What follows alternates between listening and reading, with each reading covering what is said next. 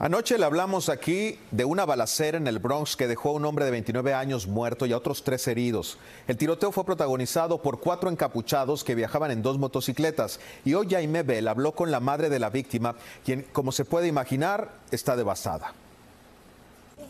¡Ay, mío! ¡Ay, mío, mío! ¡Ay, ay, ay! ¡Es justicia para mí! Es el lamento de una madre que ha perdido a su hijo Miguel Doleo, de 29 años. Esta vecina Isabel se dirigía al apartamento a dar el pésame y nos llevó donde la familia. Esa bicha me llamó esta mañana. Vecina, me mataron a mi hijo, me mataron a mi hijo. En el apartamento se respiraba un dolor profundo. Hoy yo me quedé sin mi hijo.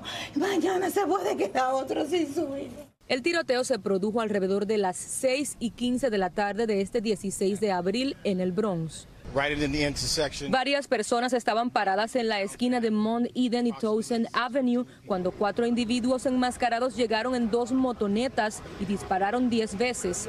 Tres de las víctimas, entre los 23 y los 37 años, fueron alcanzados en las piernas, pero Miguel fue baleado en el pecho.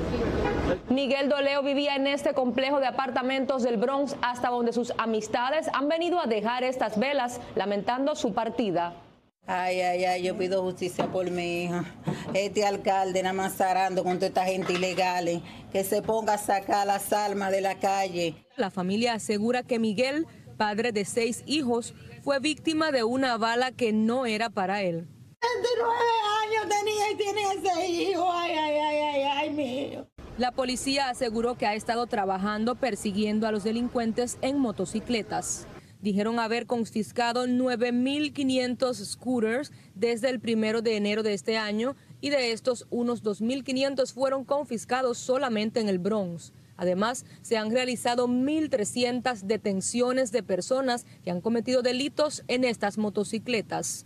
La familia asegura que los agresores en este caso eran menores de edad y exigen mano dura. Las menores de edad son que están acabando aquí.